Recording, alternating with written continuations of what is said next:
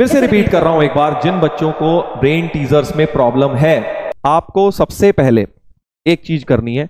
Notes पूरे टिटफिट है हमारे, सब पढ़े हुए हैं हमने, सब क्वेश्चन हमारे परफेक्ट हैं।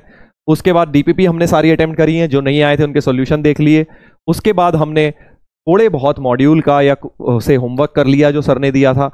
उस लेवल तक पहुँच गए, अगर आपको वो लगता है वो सब चीज़ें हमारी हो गई हैं, तब ही आपको ब्रेन टीजर्स करने हैं। वरना बेटा आपको बहुत दिक्कत आएगी, दस में से शायद फिर एक भी नहीं होगा। और अगर ये सब कर लिया है, तब भी हो सकता है दस में से दो ही हो अभी। ठीक है?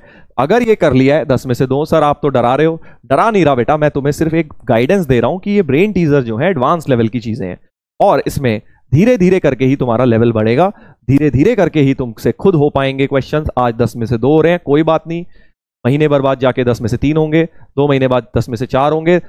छह महीने बाद दस में से पाँच होंगे और दस में से पाँच या छह तक पहुँच गए तुम, फिर तो भाई एडवांस क्लियर हो रहा है अपना एडवांस लेवल तक हम पहुँच गए हैं।